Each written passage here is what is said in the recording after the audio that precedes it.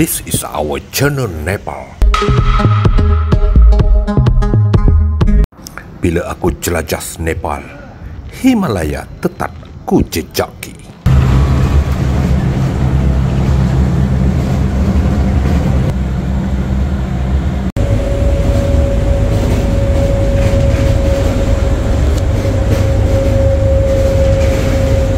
Selepas empat tahun aku tak keluar negara Apatah lagi menjejak kaki di penjaran Himalaya di Nepal. Untuk keluar negara di masa masih pandemik ini Aku juga harus utamakan SOP yang telah ditetapkan oleh kerajaan sama ada Malaysia ataupun, ataupun Nepal. Kalau tak ikut parah nanti. Aku berlepas ke Nepal pada 21 Mac lalu Dengan menaiki pesawat MAS Aku beli tiket penerbangan sebulan sebelum. Dan selepas itu aku buat visa ke Nepal seminggu sebelum. Sebelum berlepas aku juga buat PCR test dan berdaftar dengan kesihatan Nepal. Ha, mestilah kena prepare. Kalau prepare awal lagi bagus kan? Oleh kerana aku dah prepare semua itu perjalanan aku smooth saja. Ha, berjalan lancar. Sampailah aku tiba di lapangan terbang Teriboyan di Kathmandu. Semua proses perjalanan aku dipermudahkan segalanya. Yang mana bila aku keluar saja di pekarangan airport uh, di Kathmandu kan kawan kawan aku lah kat sana si Raja Itani dah sedia menunggu aku. Oh dah lama tak jumpa hampir 4 tahun. Ha. Ha, saya sudah sampai di Kathmandu. Ha, ha, ha, ha. ha, ha tengok Ha, tengok apa gaya kawan saya kat sana. Ha, dia punya ni kalah siapa saya pun tak tahu. Mana dia nak bawa ni? Memang dia uh, gembira habislah. Uh, selepas itu menaiki kereta menuju terus ke hotel di Tamen. Tempat yang paling popular lah. Popular kepada traveller, cycle dan sebagainya. Dan selepas itu, ha, letak saja barang dalam hotel apa ni semua. Ha, perut dah lapau. Aku pun apa lagi Taruhlah pergi makan tempat yang paling popular lah. Dengar di kalangan orang Malaysia ni Mesti tahu punya lah Di Ana Tolia Restaurant. Lepas tu balik ke hotel balik rehat lah sekejap kan. Uh, Tapi pada, uh, pada sebelah malam uh, Pada sebelah malam uh, Aku telah di Macam aku surprise jugalah pada aku. Sebab aku telah dijemput oleh tim Nadi Sehat yang membuat rekod eh, yang buat rekod di Every Base Scan uh, t-shirt terbesar tu yang di draft oleh the Malaysia Book of Record kan. So dia depa minta aku datang jugalah untuk memeriahkan suasana uh, yang mana majlis penyerahan uh, CJ Malaysia Book Record atas kejayaan mereka. Tahniah tim Nadi Sehat uh, walaupun uh, majlis itu kecil tetapi amat bermakna sekali kepada uh, semua pihak lah. Semua pihak kan yang terutama tim daripada Nadi Sihat yang membuat rekod. Uh, saya bangga dengan depa orang ni sebab ini adalah uh, mencipta rekod create the record Uh, selepas uh, lebih kurang 2-3 jam lah dekat majlis tersebut. Lepas tu Uh, bila majlis bersurai aku pun balik ke hotel balik lah aku pun berehat lah sebab uh, keesokan hari perjalanan aku menuju ke Pokhara masih jauh kan uh, itu lebih kurang tiga suku hari lah untuk sampai ke sana tu. Uh, suku hari suku hari bukan tiga suku uh. dan ini uh, hari ini 22 22 Mac kan aku bergerak ke Pokhara with our friend my friend. Naik kereta tau naik kereta Ford Ha, ini kereta. Ha, pada hari kedua aku berada di Kamandu. Ha. Kamandu hari kedua ni aku dah pagi je. Ha, pada pukul 7 pagi aku dah bergerak. Aku dengan Rajesh ni bergerak menaiki kereta uh, menuju ke uh, bandar ketiga terbesar di Nepal iaitu Pokhara. Uh, dengan uh, melalui jalan yang berliku lah. Uh, berliku merentas sepanjaran Himalaya. Yang keadaan jalan yang berdebu berdebau lagi kan. So um, kita orang bergerak lah uh, ke sana lah. aku duduk dalam kereta duduk belakang kan nah, kalau aku mengantuk aku tertidur juga kan nah, biasalah tu. Uh, dan uh, naik ke kenderaan sampailah. Uh, memang keadaan jalan raya seperti yang uh, kau orang tengok ni kan keadaan jalan ya. Aku duduk dengan kau orang kan. So aku sampai di bandar Pokhara tu lebih kurang pukul 3 petang lah. 3 itu aku sampai Pokhara tu hujan lebat. Tiba-tiba. Kan hujan lebat pula dah. Ha, lepas tu sampai saja aku tak pergi hotel dulu tau. Aku pergi perut dah lapar kan. Lepas tu aku pergi ke Halal Restaurant lah. Halal Restaurant dekat dekat uh, Pokhara tu salah satulah ada beberapa halal restoran di sana. So aku pergi tu makan dululah apa lagi perut lapar kan. Ha sabda lah tengah-tengah hujan tu kan. Ha selepas habis tu makan dulu kan. Kadang tu hujan, hujan lagi. So lepas tu aku naik kereta balik aku pergi ke hotel. So berehatlah kat hotel lepas tu. Lepas tu uh, sampailah malam. Malam tu aku keluarlah sekejap tengok suasana malam di uh, apa kalau keadaan masa tu renyah-renyah sikit-sikit je so kita boleh jalan lah kan uh, lepas tu oleh kerana uh, semakin malam tu semakin lebat lepas tu aku balik lah hotel balik. Lepas tu aku hmm, apa lagi tidur lah kan sebab keesokan hari tu aku nak pergi Panjak Bukit. Uh, Panjak Bukit uh, untuk melihat uh, panorama sunrise yang aku memang aku jangka memang cantik lah sebab hujan sebelah petang tu kan masuk hari ketiga aku berada di Nepal ni ha? aku dah ready ya dah ready pukul 4.30 pagi ha, selepas itu dah siap semua raja dah siap semua tu lebih kurang 4, 45 pagi tu kita orang turun daripada hotel naik kereta ha, pergi ke Pundikok yang tinggi sikit daripada sarangkok ha, untuk aku tujuan aku bukan apa aku nak ambil gambar ambil gambar nak ambil video nak tunjuk pada kawan tau. Ha, so naiklah tu dalam keadaan yang gelap yang jalan tu agak licin kat kereta berpusing-pusing macam 4 lah pula ha, kan? Lepas tu naiklah sampailah ke atas ha, dengan harapan kita boleh melihat banjaran Himalaya yang cum sekali lah yang cantik. Lepas tu panorama uh, sekitar uh, bandar Pokhara dan sebagainya kan. Memang cantik lah sunrise apa ni semua kan lepas tu aku nak lah sampai ke atas tu hmm, hampir. Uh, berkabus. Tak dapat apa. Cuaca tak berapa cantik. Uh, lepas tu kami pun dah duduk sana. Naik sama lah lebih kurang pukul tujuh lah. Lebih kurang pukul tujuh lebih tu tu orang pun terpaksa turun lah kan. Turun. Masa turun tu masa turun daripada Pundikok tu aku dengan Rajesh nak naik kereta lah. Lepas tu lah pada turun tu aku naik kereta lah. Turun turun ke bawah lagi kan. Lepas tu aku sempat singgah lah dekat ha, kalau kau nak tahu ada kabel car dekat uh, bawah uh, untuk me, uh, naik ke Sarangkok. Ha, Sarangkok tu memang salah satu tempat lah. Sebelum ni aku pun pernah naik kan. Beberapa kali aku naik dah Sarangkok. Memang panorama dia marvelous lah kan ha, so kabel car tu baru sebulan. Baru sebulan operasi ha, lepas tu aku jumpa lah dengan uh, of the manager kat sana sembang-sembang kan. Dia, dia cerita lah dia uh, waktu operasi lah dan sebagainya kan. Uh, pada dasarnya um, permulaannya untuk naik ke situ ialah RM1,500 ya, untuk seorang untuk naik kabel kar ke atas. Dan mula beroperasi pada jam pukul 5.30 pagi. Ha, sampailah ha, mungkin sampai tengah hari ha, tujuan dia untuk melihat uh, panorama sunrise ha, yang tu. Di di Sarangkot merupakan um, satu uh, industri baru yang terdapat di Pokhara. Ha, lepas tu lepas habis tu kita orang pun turun lah lagi kan. Turun daripada Uh, kawasan bawah tu kawasan dekat dengan kabel car tu kita pun turun lah pergi. Lepas tu aku pergi lah. Uh, aku turun daripada kereta lah. Lepas tu aku singgah dekat apa ni Fewal Fewal Lake. Uh, tasik Fewal yang paling popular di Pokhara dan juga Nepal. Uh, memang uh, salah satu kawasan yang uh, pelancongan. Kan? Uh, seperti yang uh, kau lihat ni lah.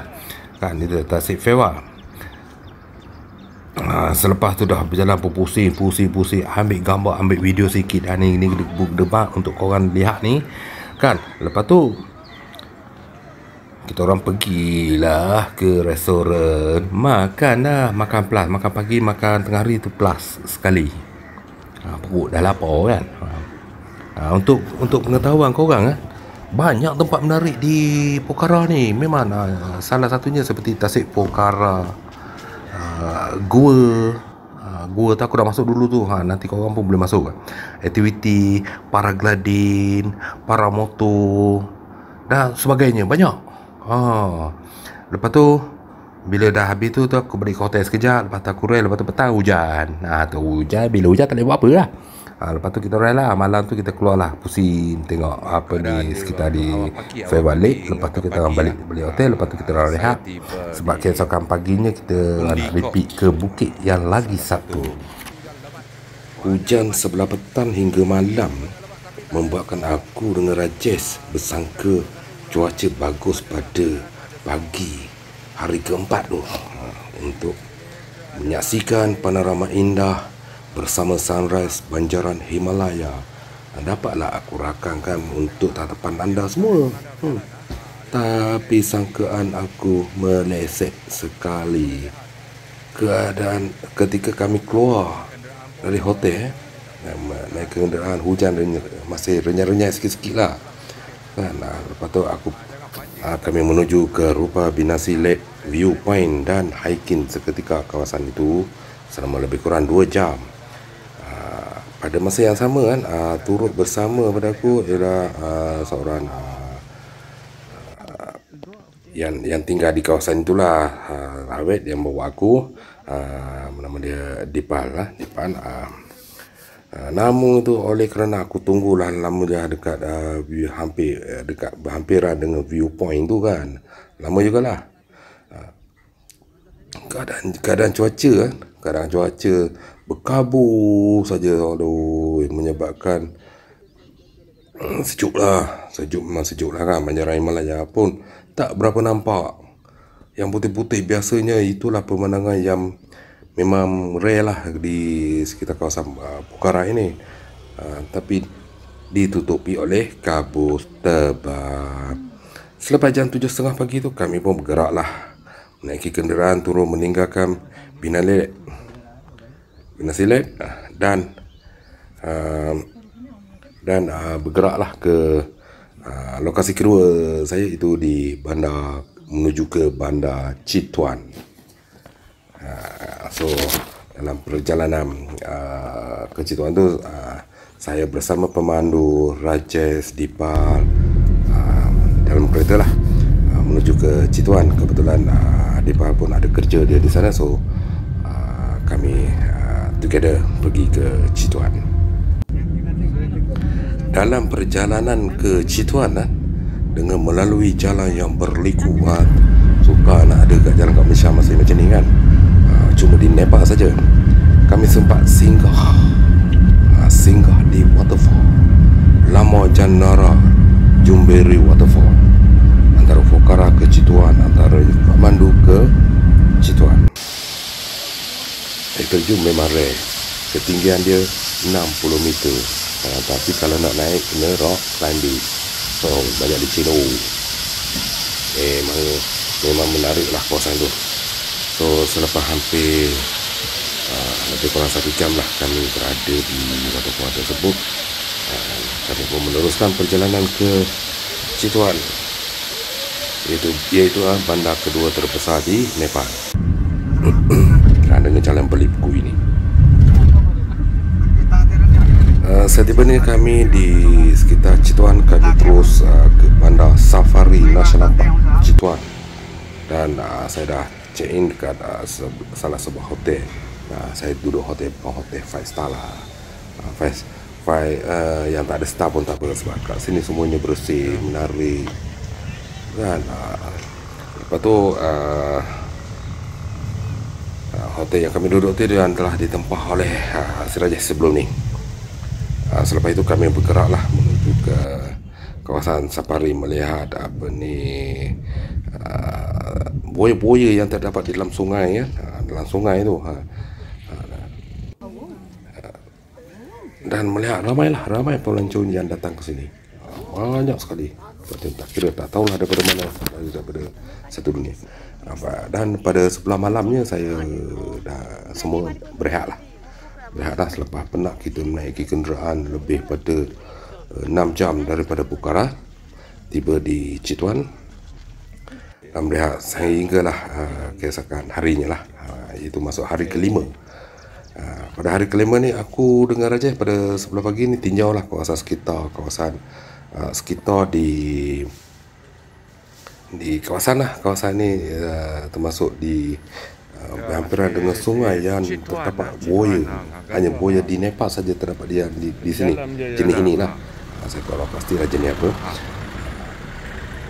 Yang mana uh, aku akan tua aku akan aku akan tua ke uh, safari. Uh, dengan menaiki jeep uh, lebih pada 4 jam uh, bermula pada satu tengah hari hingga lima petang lebih ke petang. Uh, so aku sebelah pagi tu aku pusing-pusing lah ya, seperti anda lihat gajah ada jalan raya ini yang semua kan. Uh, yang anda lihat ya, memang raya lah di sini. Uh, ada di tempat lain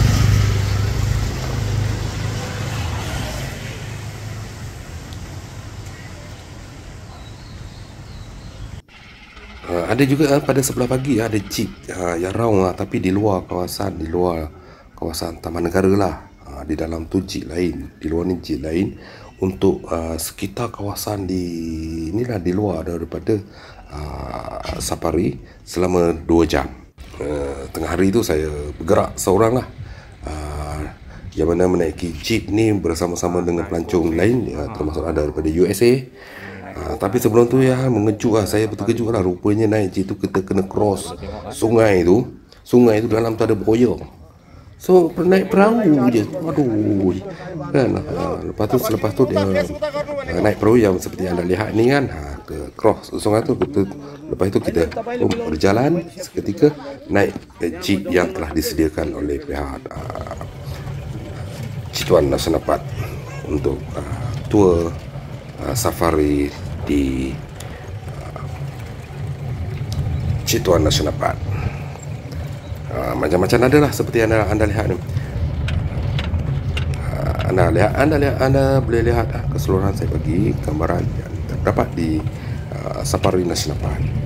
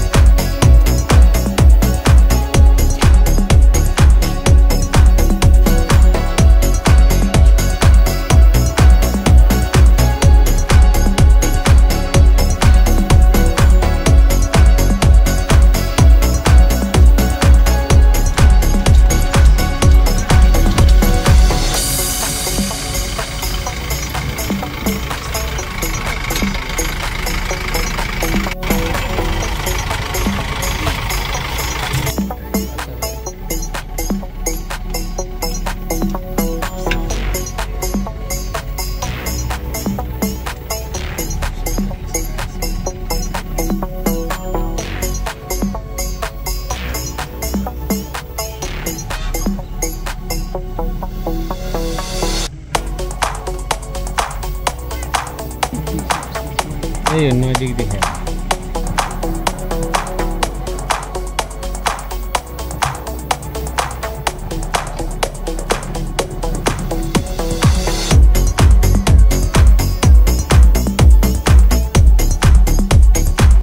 Okay, dengan ini berakhirlah kisah perjalanan saya uh, selepas turun daripada jeep ini uh, round di safari. Cituan Nasional Park. Boleh tahan jugalah, dia tukar 4 jam setengah juga untuk saya uh, berada di sana. Macam-macam ada uh, seperti yang anda lihat sebelum ini. So, uh, dengan itu saya sudahi dengan uh, Terima kasih kerana menonton channel pendaki solo ini. Uh, jika ianya memberi manfaat kepada anda, sila subscribe, like and share.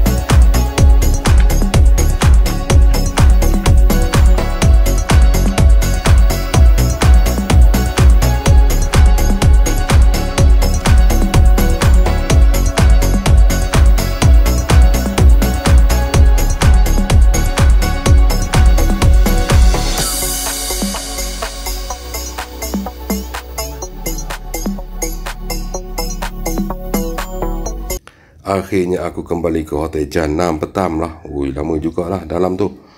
Uh, dan uh, lepas tu aku pun berehat lah. Uh, makan malam. Uh, bersama dengan Rajesh dan juga uh, Dimba. Inilah makan malam. Uh, tu yang, yang pasti uh, terdapat juga restoran Muslim food di uh, bandar Cituan ini. So banyak lagi tempat-tempat menarik di Cituan ni. Ha, ya, saya tunjukkan kepada anda di safari ya. Uh, selepas itu pada keesokan harinya kami terus bergerak menuju ke Kathmandu. Menuju Kathmandu menaiki kenderaan yang sebelum ini. Uh, yang mana uh, di pertengahan jalan tu Dipal akan menaiki kenderaan lain untuk pulang ke Pokhara dan saya Rajesh dan pemandu uh, bergerak ke Kathmandu. Dan sampai di hotel penginapan di Kathmandu pada sebelah petang lah. Dan kami pun berehat pada itu. Uh, dan masuk pada hari kanan ketika uh, aku berada di Kathmandu, aku juga sempat berjumpa dengan beberapa rakam lah daripada Malaysia. Uh, termasuk Rawi, Tim Everest dan berpeluang mengambil gambar dan kami juga uh, sempat uh, bertukar idea lah seperti yang anda lihat inilah macam-macam yang ada ter, yang ada di uh, Kathmandu. Uh, sampailah lewat malam kan, uh, jumpalah kawan-kawan yang lain dan uh, pada hari ke-7 aku uh, buat uh, PCR test lah kerana 20 hari ke-8 tu aku dah pulang ke Malaysia.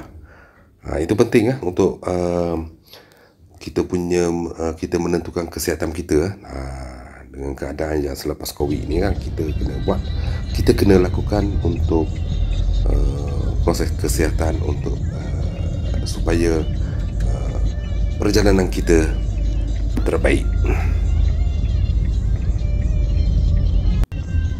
So jika anda ingin kenapa mudah saja?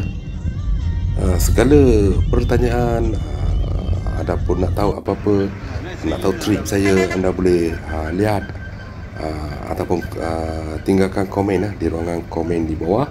Dan juga anda boleh uh, melihat uh, boleh klik link yang saya bagikan trik-trik saya uh, ke Nepal ini uh, melalui klik uh, boleh pergi ke website saya. Anda boleh lihat dan juga kalau anda uh, ingin membuat apa ni trik sendiri ya trik sendiri ataupun nak pergi sendiri uh, saya juga boleh membantu anda uh, untuk dapatkan uh, agensi kat sana. Agensi di sana yang boleh menguruskan anda. Itu yang lagi baik lagi bagus lah kalau anda nak okey bagi tarikh bagi masa bila nak pergi okey kami terus ha, tim saya di sana akan terus menunggu anda. Daripada airport dan kita hantar balik ke airport. Uh, selepas itu keesokan hari hari ke-8 uh, saya telah pergi ke uh, airport Trimboyan Trimboyan uh, Kathmandu macam biasalah sebelah pagi. Uh, tapi semuanya dipermudahkan. Dipermudahkan sehinggalah saya sampai di Malaysia terbang ke Malaysia. Semua urusan uh, semua urusan lah semua. Smooth saja. So selepas saya balik ke Malaysia so kita jumpa lagi untuk next video ataupun Uh, cerita-cerita mengenai perjalanan saya di Nepal dan ingin mengetahui trik-trik pendakian, uh, hiking, trekking, uh, tour city di Nepal. Anda boleh terus menonton channel Pendaki Solo. Anda juga boleh subscribe, like and share channel Pendaki Solo ini jika ianya memberi manfaat kepada anda dan saya. Ucapkan terima kasih dan kita jumpa lagi. Terima kasih kerana menonton channel Pendaki Solo. Sila subscribe, like and share jika ianya memberi manfaat kepada anda semua.